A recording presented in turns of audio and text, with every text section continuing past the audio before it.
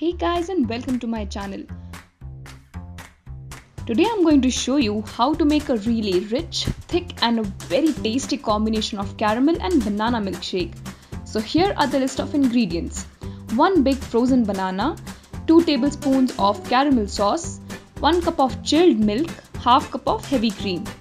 Here you can see that I have not included any sugar as the sweetness will be given by the caramel sauce. So take your mixer jar and put in the banana. The more ripe it is, the better it tastes.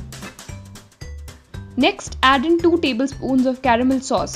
You can check the above link for my homemade caramel sauce recipe.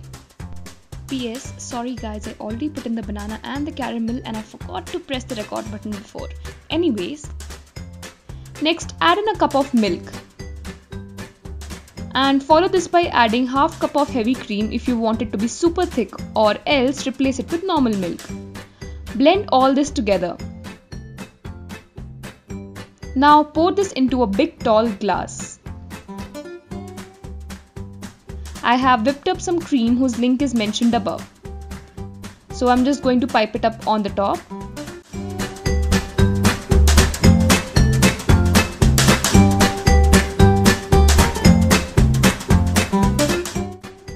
Next I'm just loosely pouring out the caramel sauce.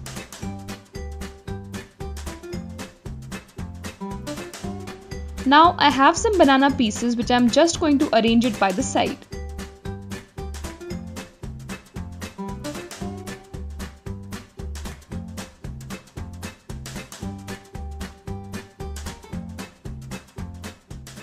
There it is. Have a sip of this amazing combination and let me know how it turns out for you.